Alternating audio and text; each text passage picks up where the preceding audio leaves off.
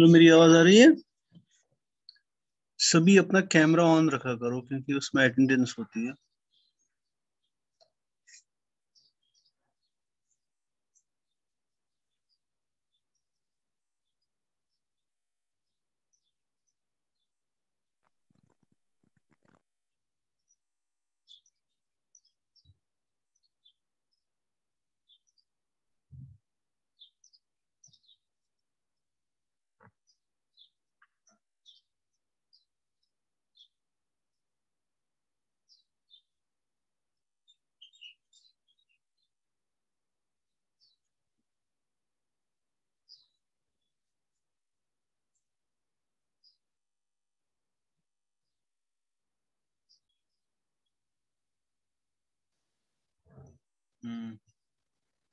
निसार तुम भी रखो अपना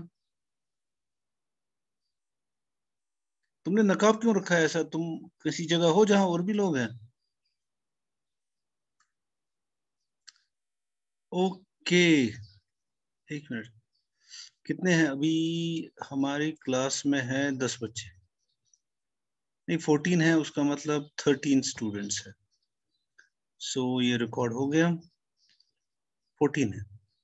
फोर्टीन स्टूडेंट्स तुम अपना वो अटेंडेंस रख लेना अपने पास, Umar. So let me start let me share the screen okay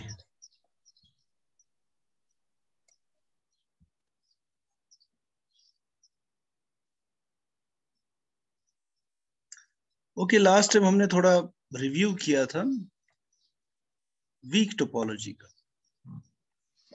Weak topology is the most important thing in functional analysis. Fact, जो functional analysis शुरू हुई थी तो वीक टोपोलॉजी के बेसिस पे ही शुरू हुई थी सो बट चूँकि अब हम नए जिस तरह से पढ़ाया जाता है हम पहले इजी वाला पढ़वाते पढ़ाते हैं ना बच्चे या जो स्टूडेंट्स पढ़ते हैं या किताबों में है वो शुरुआत नॉर्म टोपोलॉजी से करते हैं क्योंकि we generally take normal spaces as the starting point for functional analysis. But you could also take the topological vector spaces और उस पर तो फिर शुरुआत ही वीक टोपोलॉजी से होगी जैसा कि और बुक्स करते हैं ओके okay, एनीवेज तो हमने वीक टोपोलॉजी किया था topology on x which is a normal linear space imposed by x star so this is weak topology और मैंने कहा था इसको हम ऐसे भी लिखते हैं और कभी कभी डब्ल्यू के टोपोलॉजी भी लिखते हैं ऐसे फिर मैंने बात की थी वीक स्टार टोपोलॉजी अब वैसे वीक स्टार टोपोलॉजी ये इनिशियली हमने थोड़ा बहुत उसको किया होगा इसमें। क्या बोलते हैं? फ़ंक्शन एनालिसिस वन में। तो बेसिकली आइडिया ये है कि जिस तरह से I can think of this functional जो फंक्शनल है ना तो इसको डुअल कहने की वजह जब हम कहते हैं ना एक्स और एक्स स्टार डुअल है। यानी एक तरह से डुअलिटी का मतलब ही है मतलब डुअल इसी वजह से इसका नाम पड़ा है कि जिस तरह से आई कैन थिंक ऑफ़ अगर मैं इसको एज अ डोमेन मान लू और इसको फिक्स करूँ then then you get f map from x to k और अगर मैं इसको फिक्स करूँ और x को यहाँ पे फिक्स करूँ और x स्टार को रन करूँ then you will get a map f sub x. हालाँकि दोनों का जो रेंज है वो सेम होगा। मेरे कहने का मतलब इस तरह से यानी डिफाइन ये है कि f of x is equal to नहीं, देखो f x at f is equal to f of x कहने का मतलब अगर मैं एफ़ एक्स को फिक्स करता हूँ और एफ़ को रन करता हूँ, जो एफ़ एक्स का स्केलर वैल्यू है वो सेम है, इसमें भी और इसमें भी। लेकिन अब सिर्फ़ ये है कि आप इसको डोमेन किसको मानते हो और फिक्स किसको करते हो। इसीलिए बहुत सारी बुक्स इसको इस नोटेशन से यूज़ करती हैं इनर प्रोडक्ट नोटेशन से। यानी हम लेते हैं इसका नाम x star because it belongs to x star by that I mean x star now you know is actually b x k it's a bark space where x is a normal linear space it is f such that f is linear and continuous.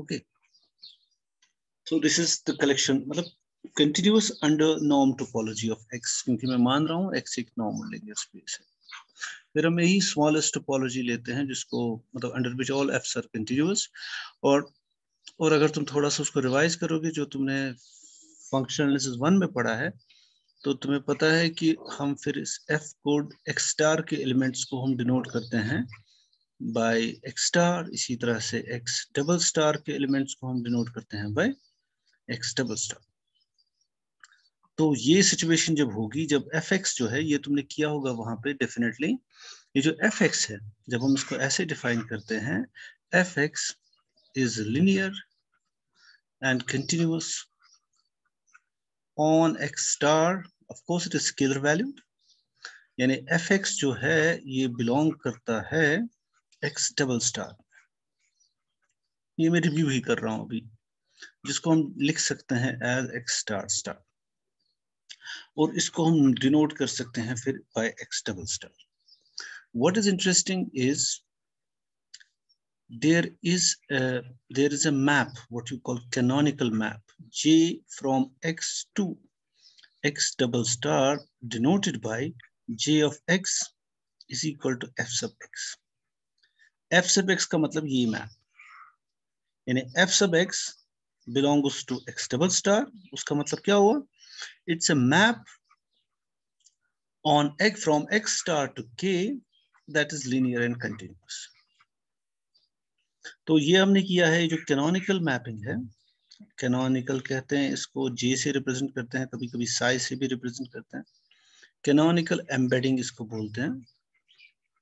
So what happens is that then j of x जो है it is contained in side x double star preserving all the structure linear and continuous तो in general it is a proper subset and j x जो है because j preserve the linear structure as well as the norm structure Or agar tum usko revise karoge, you know that norm of x is equal to norm of f sub x.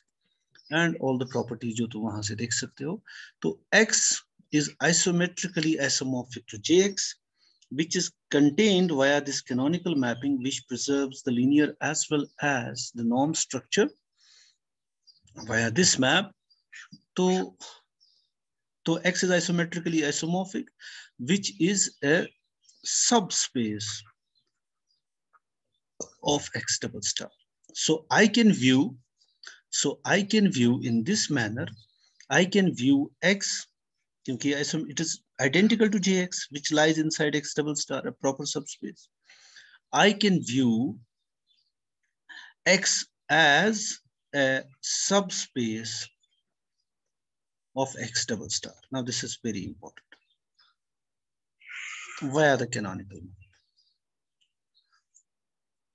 okay और अगर j of x जो कि same है it is indistinguishable from x अगर ये exactly exactly बराबर है x double star के तो हम कहते हैं एक्स इज़ रिफ्लेक्सिव और कभी कभी हम फिर सीधे लिख देते हैं x is equal to x double star because x is indistinguishable from j x because it preserve दूर structure as well as the non structure it's an embedding so so now i can think of x by which i mean actually मेरे कहने का मतलब है jx इसकी जो canonical embedding under copy है which lies inside x double star so I can think of x as a subset of x double star and x double star is a set of mappings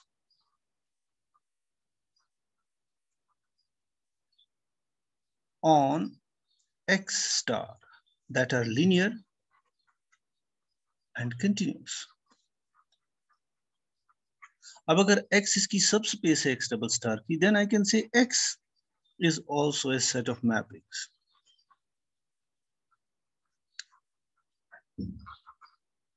on x star that are linear and continuous लेकिन अब इसमें क्या है इसमें थोड़ी restriction आ गई यानी ये जो कैनोनिकल एम्बेडिंग है it follows a certain principle वो प्रिंसिपल क्या है?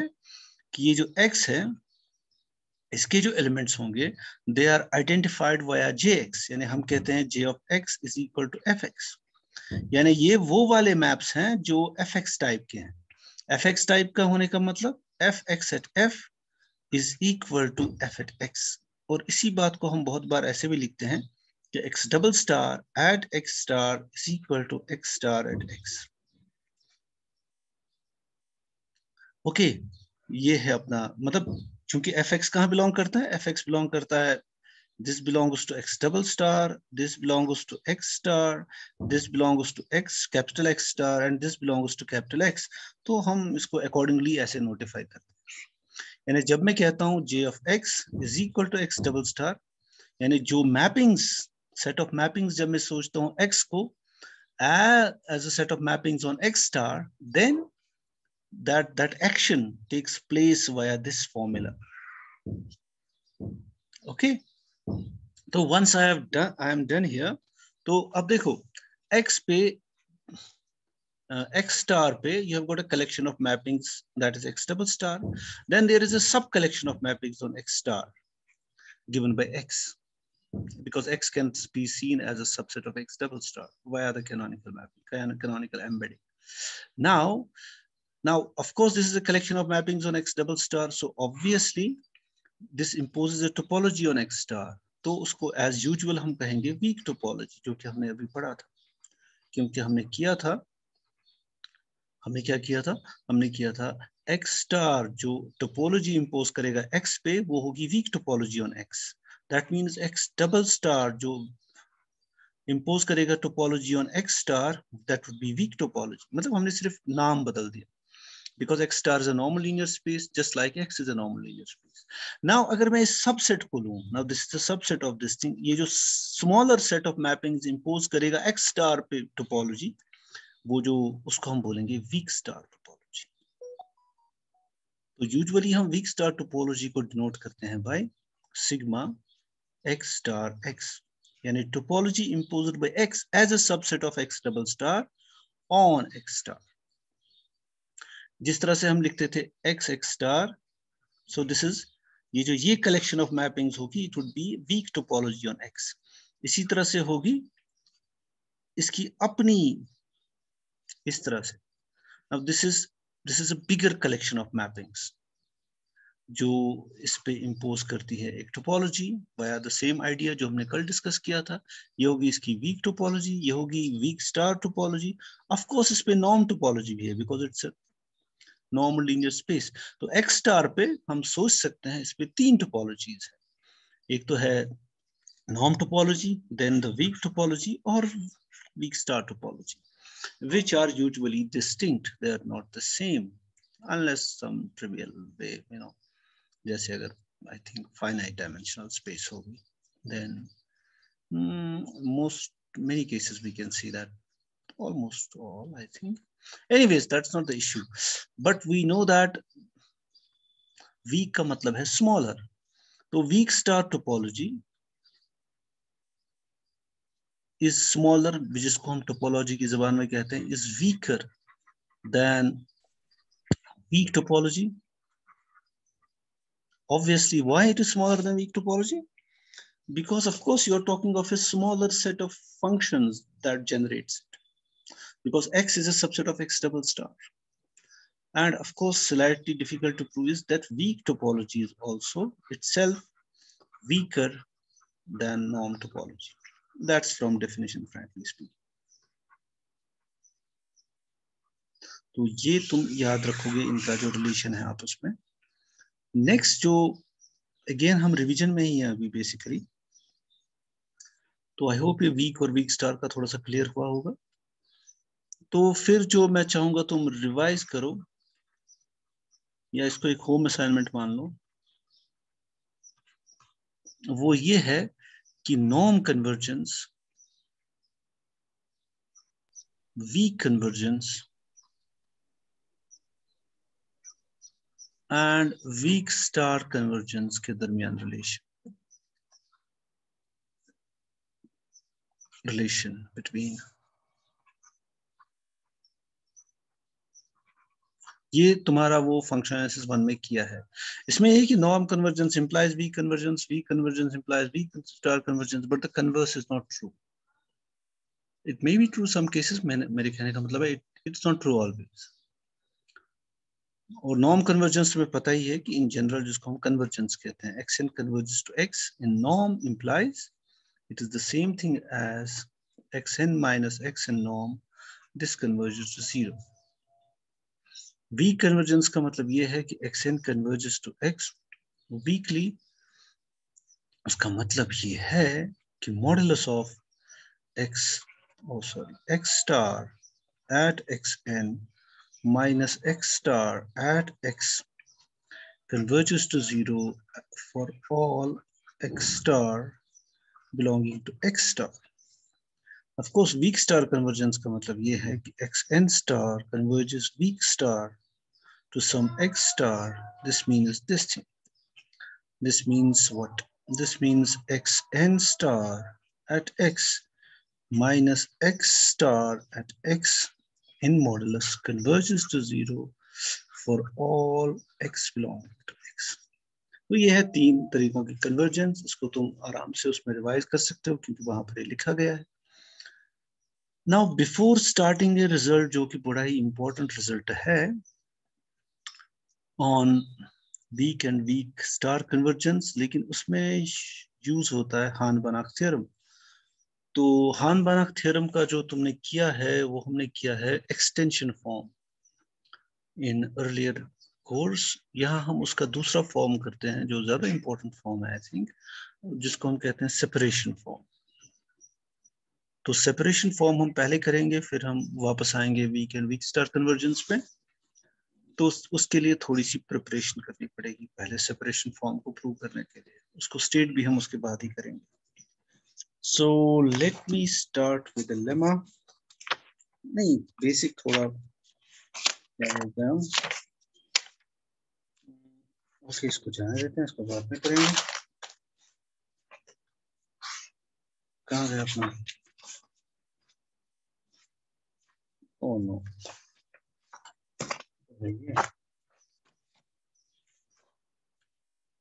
ओके मैंने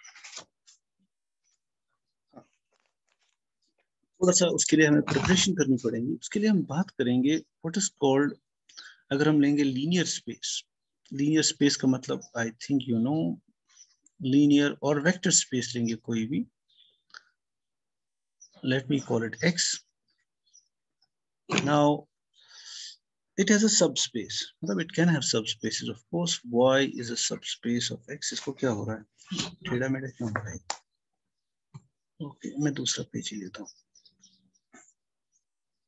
Okay I have got a vector space और यूजुअली जो हम बात करते हैं यहाँ लीनियर स्पेस की। Use the word linear space more than vector space but they are the same so you can have a sub space why जैसे अगर मैं लेता हूँ let me take R three R three is a vector space of course इसको हम usually ऐसे बनाते हैं, तीन एक्सिस को x y and c And of course, I know that you mean that X is the axis that is coming out of the screen. ठीक है तो इसकी कोई मुझे सब स्पेस बता सकता है आर थ्री की हेलो सो रहे हैं सब कोई जाग रहा है सर सी हाँ तो इसकी कोई सब स्पेस बताओ मुझे आर थ्री की अरे वेक्टर सबस्पेस ये तो तुमने पता नहीं ग्रेजुएशन से पता नहीं कब से पढ़ा है एक्चुअली हाँ अच्छा आर टू की कोई सबस्पेस मुझे बता दो आर टू है ना इसकी कोई सबस्पेस बता दो सर आर आर तो है ही लेकिन वो तो ट्रिवियल होगा ना नहीं कहाँ होगा वो? Any line through the origin चाहे वो आर हो या कुछ और हो any line through the origin is a subspace of R two ठीक है ना? अगर हम वन वन मतलब? मतलब वन पे बाउंड करेंगे। बाउंड करेंगे फिर वो सबस्पेस कैसे होगी? सबस्पेस तो अनबाउंडेड होगी ना? क्योंकि अगर कोई वेक्टर उसमें है तो उसका स्केलर मल्टीपल भी होगा। वो तो हम जितना मर्ज़ी बढ़ा सकते हैं। सबस्पेस का मतलब वही है ना कि if any vector is there then their sum and scalar multiple is also inside that subspace. तो ये तो होगी R2 की सबस्पेस होगी any line through the origin अब मुझे बता दो R3 की सबस्पेस ये सभी इसकी सबस्पेसेस हैं। एक्चुअली और कोई है ही नहीं। Any line through the origin हाँ? Plane passing through the हाँ any plane passing through the origin would be a subspace how about how about a line through the origin क्या वो subspace होगी Yes. हाँ any line through the origin होगी अरे कोई बोलो ऊँचा तो आर थ्री की जो सब स्पेसिस होंगी वो होगी any line through the origin और any plane through the origin and of course the trivial space जिसमें खाली ओरिजिन है ना? Any plane through the origin और any line through the origin तो ये तो सब स्पेसेस हुई there is something called what we call a hyperspace hyperspace का मतलब होता है ऐसी सब स्पेस जैसे ऐसी subspace proper subspace पहले। हाइपर स्पेस चलो मैं लिखता हूँ। प्रॉपर सब स्पेस वाई प्रॉपर सबस्पेस में पहले कह रहा हूँ। Of where X is a vector space a linear space such that x is equal to span of now y चलो मैं ऐसे लिखता हूँ span of y union a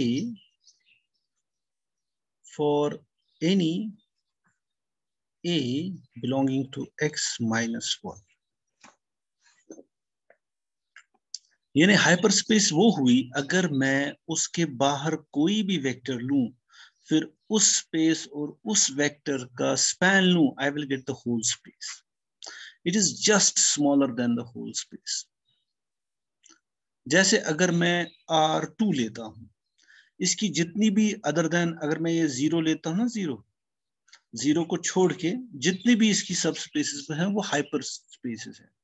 क्योंकि अगर मैं कोई भी सब स्पेस लेता हूँ other than zero any line फिर कोई वेक्टर लेता हूँ, इसके बगैर तो it would span the whole space ये सारी स्पेस को कवर कर देगा ना, ये दो वेक्टर्स इसी तरह से आर थ्री जो है आर थ्री में जो ये लाइन है line through the origin they are subspaces but they are not hyperspaces क्योंकि अगर मैं कोई वेक्टर लेता हूँ इस सब स्पेस से बाहर, वो पूरी आर थ्री को स्पैन नहीं करेगा, वो एक प्लेन क्रिएट करेगा.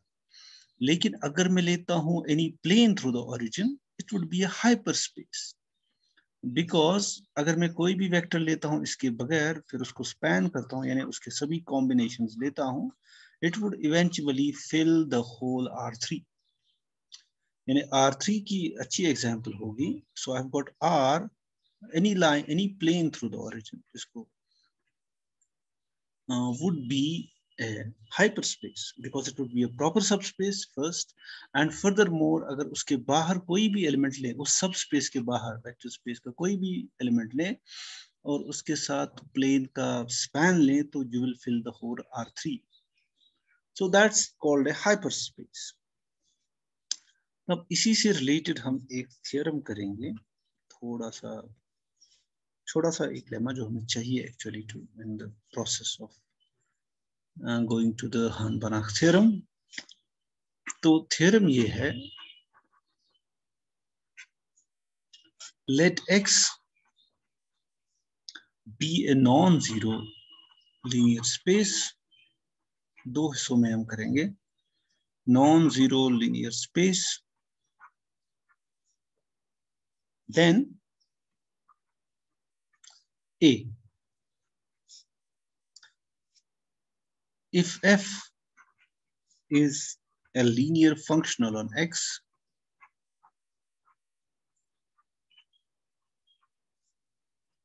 such that f is not identically zero, it's a non-trivial map, then kernel of f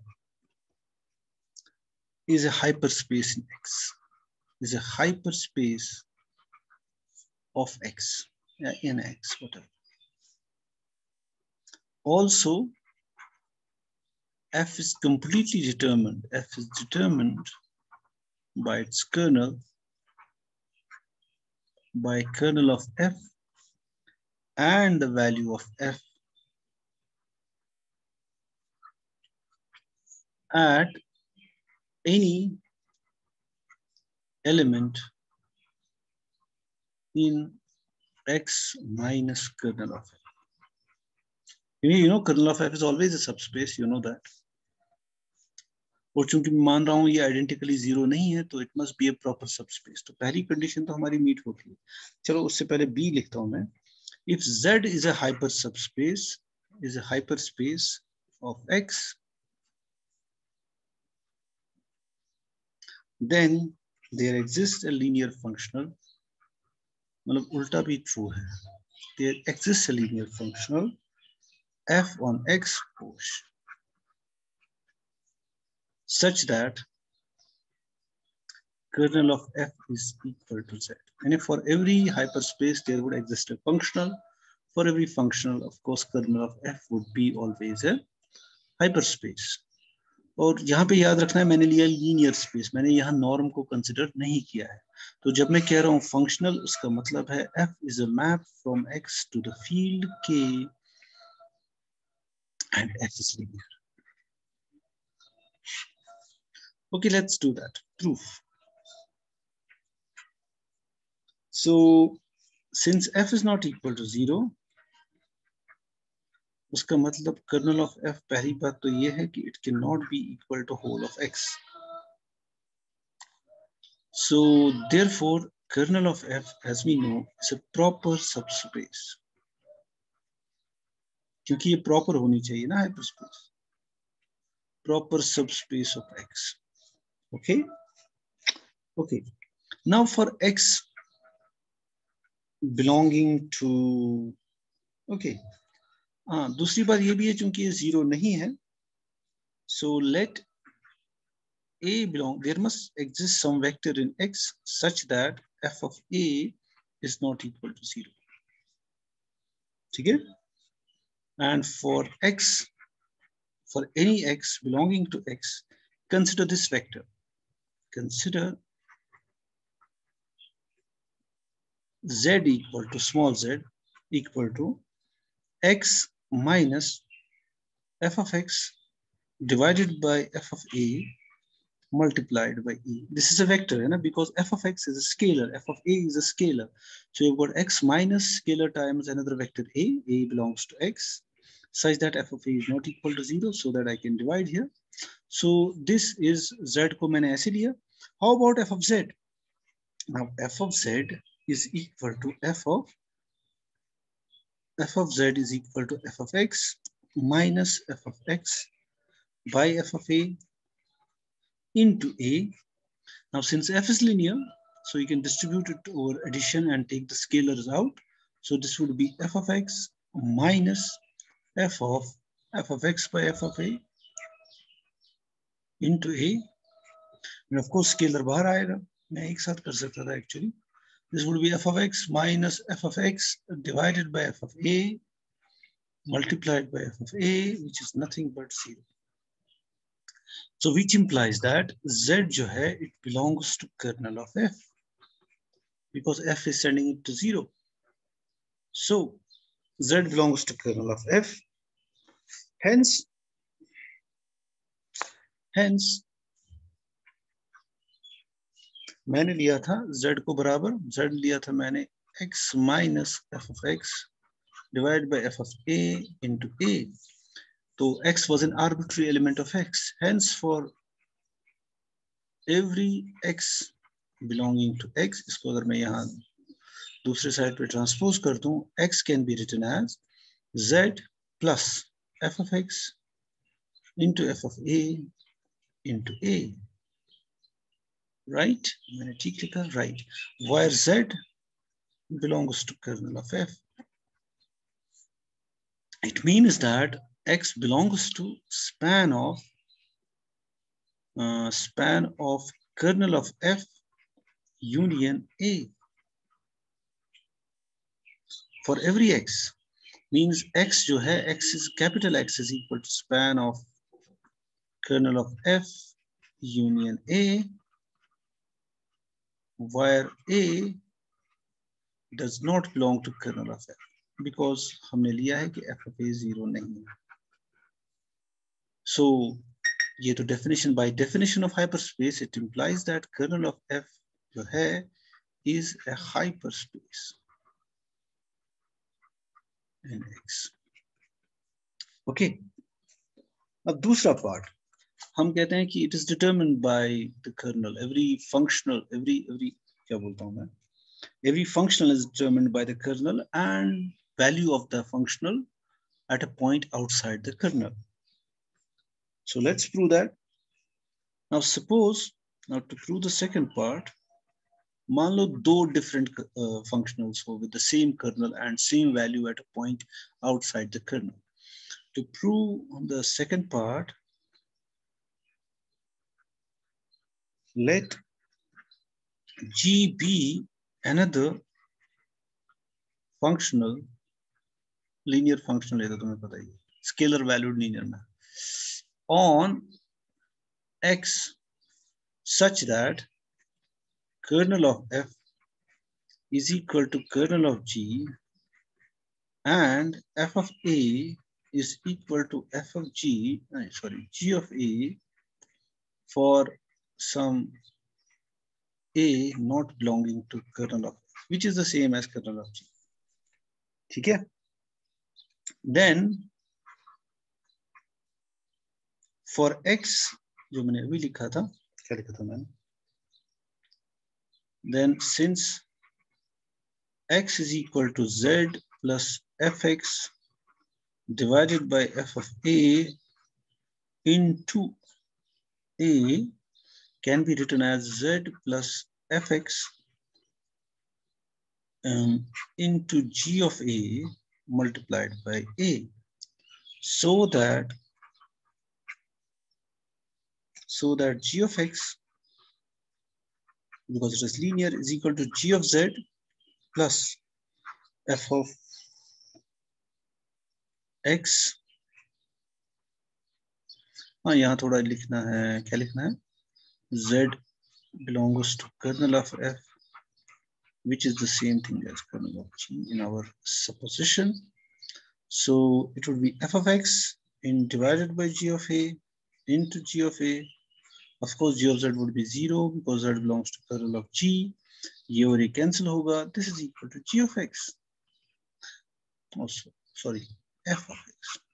That is, G of X is equal to F of X for all X belonging to X यानी F और G फिर same होने चाहिए।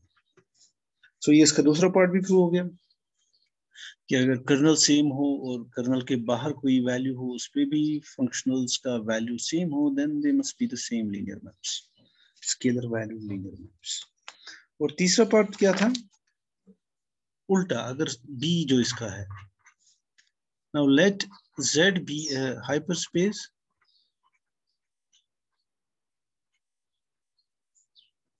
in x तो अब हमें दिखाना है there would be a functional and let a not belonging to z because it's a proper subspace so there would be something outside it consider x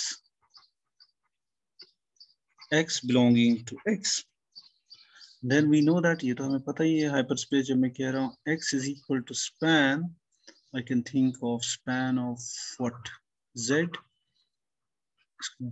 union a so अगर कोई भी x set can be written as some combination of z and a, elements of z in a.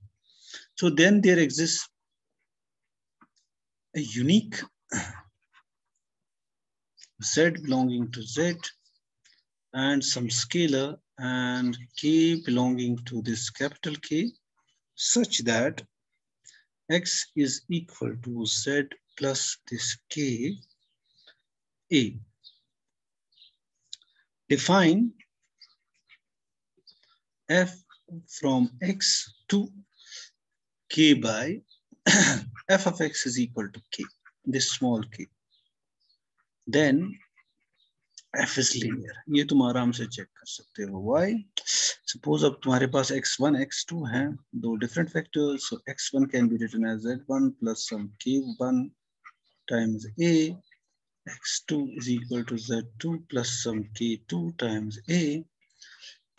then it's easy to check जब मैं इस तरह से इसको define करता हूँ इसका मतलब x1 plus x2 is equal to z1 plus z2 plus k1 plus k2 times a that means f of x1 plus x2 by our definition it should be the scalar that's here so it is equal to k1 plus k2 but that is the same thing as f of x1 plus f of x2 इसी तरह से वो scalar multiplication then f is linear on x and kernel of f is equal to z. क्यों क्यों क्यों ये तो straight forward है जिस तरह से ये डिफाइंड है बिकॉज अगर if x belongs to z then x can be written as the small z क्योंकि z में है plus zero into A because x is equal to z है ना? Then x is equal to z for some z belonging to z है ना? मेरे अगर z के अंदर से z is a subset subspace of x तो हम इसको ऐसे लिख सकते हैं इस, जब इस तरह की कॉम्बिनेशन में you should mean that F of X is equal to zero तो कर्नल ऑफ़ एफ़ जो है वो जेड के बराबर होगा। Right and we are done यानी कोई भी अगर हाइपर सबस्पेस है देयर एग्जिस्ट फंक्शनल जिसका कर्नल वो है। सो so, इसमें अब एक या डेढ़ मिनट रह गया है। तो हम कोशिश कर रहे हैं पहुँचने की टू स्टार्ट हान माना थ्योरम कोई क्वेश्चन है? आई होप कोई क्वेश्चन हो। कितने स्टूडेंट्स हैं? Okay we have got one minute any questions no sir oh चलो. लेस देन वन मिनट मैं सोच रहा हूँ मैं अगर शुरू भी करूँगा कोई दूसरी चीज़ तो वो वैसे भी रिपीट करनी पड़ेगी तो हम क्या कर सकते हैं? और इसके बाद हमें एक और लेमा करना है। ओके, मैं इसको बंद ही करता हूँ, फिर से शुरू करते हैं। ठीक है, मैं लीव करता हूँ, तुम फिर से ज्वाइन करो।